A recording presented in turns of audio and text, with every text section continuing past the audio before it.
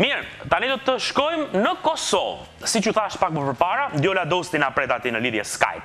Sigurisht, me të cilën do të flasim pak për pjesën nutritive dhe të përballimit të, të kësaj uh, fatkeqësie të madhe globale që na ka rënë me thënë të drejtën, kështu që uh, Diola duhet të jetë gati në këto momente. I them mirëmëngjes nga Tirana Diola Dostit. Mirëmëngjes Diola.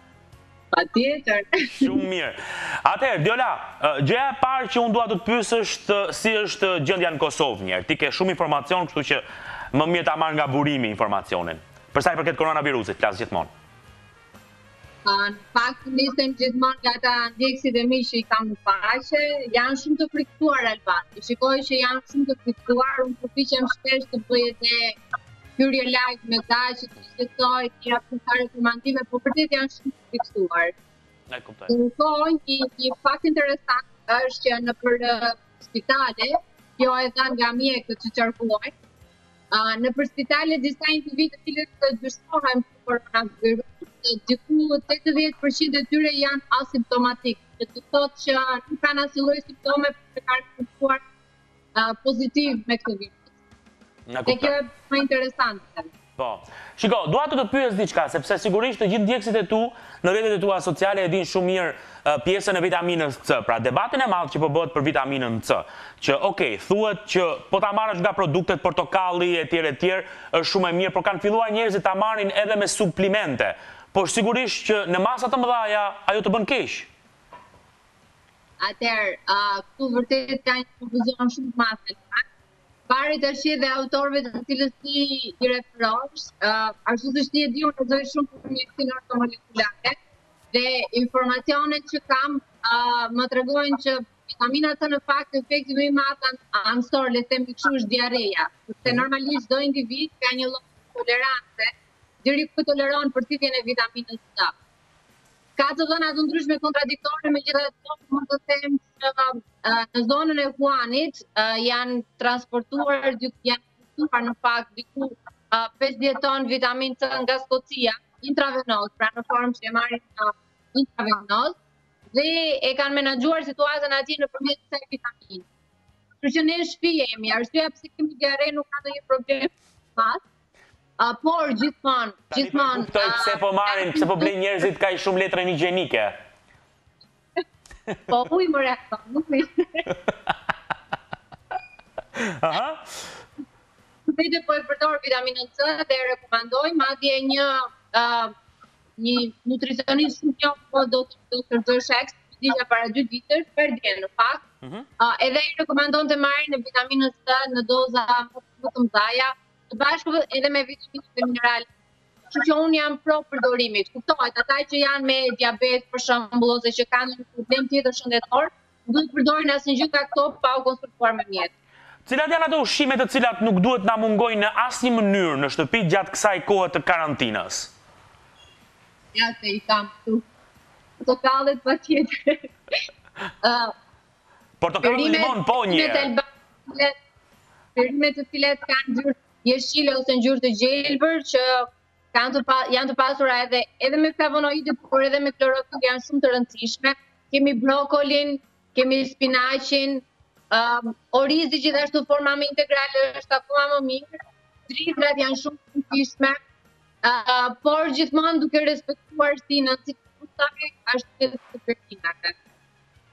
Ndërkohë në anën tjetër mund të them që mbase ka ardhur momenti që të paktën për kohën sa qarkullon koronavirusi, të heqim dorë nga mishi. Mhm. Ta heqim fare mishin?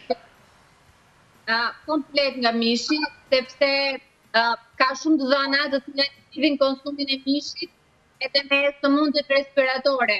Duke qenë se koronavirusi është një virus që prek traktin respirator, le të themi mos ia ndihmojmë punën koronavirusit, por që Edhe të pastrojmë trupin njëkohësisht, por është mirë që mos mos ta konsumojmë mishin. Unë bëj një si rrezik një apel që të paktën në këtë kohë le të bëhemi vegetarian, vetëm të heqim, të heqim mishin. Praktikisht m'u përgjigje sepse njerëzit po më çojnë pyetje në Instagram edhe në Facebook të Rreze Diellit dhe dikush më thotë pra se cilat janë rekomandimet për të konsumuar vakte të shëndetshme që ti sapo e the praktikisht. Po. A për shembull në pjesën e mëngjesit mund të vazhdojnë të konsumojnë omletën petullat e tyre. Domethënë s'do të thotë që duhet të bëjmë këtu një ndryshim drastik, nuk ndërsa në fata për të në për një djetë specifike. Çështja është që ne të marrim nutrientët e duhur, të të nutrientët, të të të nutrientët, të të nënkojnë, një supë me perime, një sallatë jeshile e mbushur me arra, fara të ndryshme do të ishte fantastike. Lloje të ndryshme të smuthit, me kos, me banane, mollë, avokado çdo lloj smuthi që mund të kenë, por gjithmonë të shtuar lloje të ndryshme të farave. Mhm. Farat e çias, të linit, lulediellit, farat e kungullit, çdo lloj fare që mund të kenë. Një këshillë tjetër që unë dua nga ti për gjithë ata që janë duke na ndjekur është për mënyrën e gatimit të produkteve. Ne kemi marrë shumë produkte në shtëpi, sigurisht përgjithësisht produktet më të blera janë mielli, orizi, sheqeri dhe makaronat. Tani, tek gatimi, duhet të kemi kujdes tek mënyra e gatimit të ushqimeve në shtëpi gjatë kësaj kohe? Po sigurisht që forma më e mirë mbeten format e ziera, nuk ka diskutim. Megjithatë, megjithatë, Normalisht edhe kur kur bëjmë gjëra, bëjmë na duhet të skuqim pak, pra pak qepën. Mm -hmm. Por që mos gatuhen, mos të skuqen në temperatura shumë të larta, në mënyrë që vaji mos të çlirojë ose mos të krijojë komponime kancerogjene ose komponime heterotipike, që i ndryshon. Mm -hmm. uh, kështu që format e ziera mbeten ato më të preferuara, edhe format me avull gjithashtu. E kuptoj. Por gjëja kryesore që unë Dua të bëj një apel shumë të fortë për diçka tjetër, reduktimi i konsumit të mishit. Kjo edhe për hatër, edhe për hatër të sigurisë ushqimore realisht, aq më tepër në këto kushte emergjente që neve jemi tani. E kuptoj.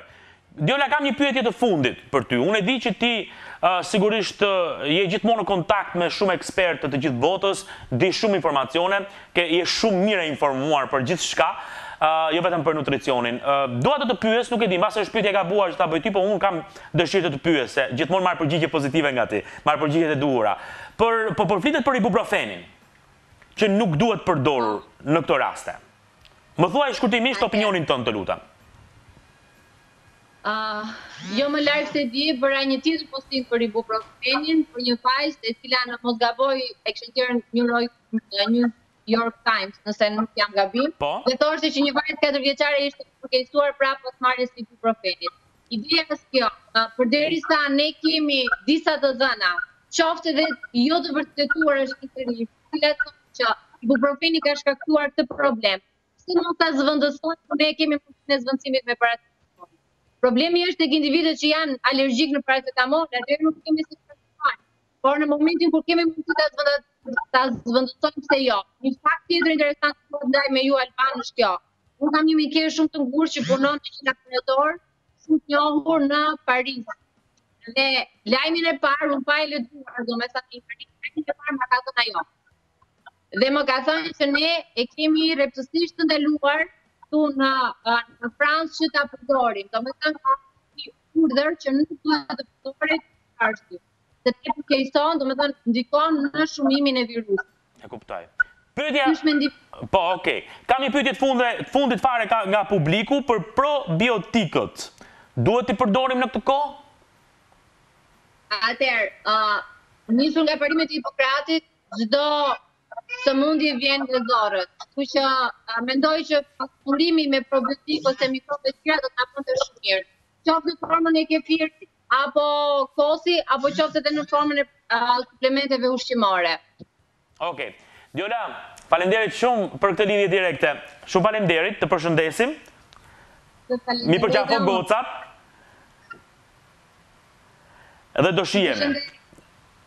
Të përshëndes. Mirë, kemi qenë me Diola Dostin drejtpërdrejt nga Kosova në këtë lidhje direkte me anë të Skype-it sigurisht dhe në fakt dalëngadalë kemi arritur në fund të programit për ditën e sotme. Ju e dini shumë mirë që këtë kohë kemi marrë më shumë kohë se ç'e kemi zakonisht të përcaktuar në programacion për t'ju informuar sa më shumë të jetë e mundur. Ndërkohë, sigurisht ne kemi arritur në fund për sot, do shihemi nesër, më saktë Rreze Dielli vjen nesër në këtë orë. Unë do jem Nga një pjesë tjetër në lidhje direkte në pjesën e parë do jeni me Suadën dhe të ftuarit, padiskutim, edhe me zonjën Vjollca. Ditë të mbarë gjithëve dhe kujdes, kujdes shumë.